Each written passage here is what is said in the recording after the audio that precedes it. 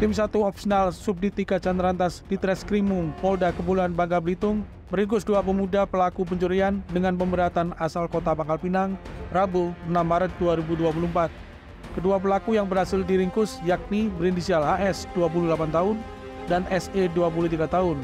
AE merupakan residivis kasus penggelapan tahun 2020.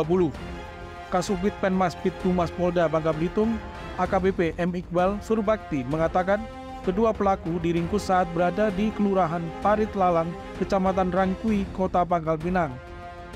Kedua pelaku diringkus saat berada di Kelurahan Parit Lalang, Kecamatan Rangkui, Kota Pangkal Pinang. Mereka ditangkap setelah eh, tim Subdit Jatangras memancing para pelaku dengan mengaku ingin membeli barang hasil curian melalui media sosial.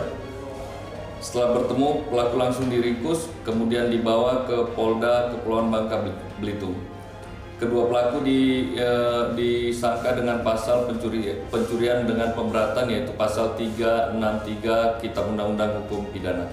Modus para pelaku ini yaitu melakukan pencurian barang-barang di tempat proyek atau perumahan yang sedang melaksanakan proses pembangunan. Modus pelaku melakukan pencurian barang-barang di tempat proyek perumahan yang sedang dalam proses pembangunan. Tim Humas Polda Bangka Belitung melaporkan untuk Polri TV.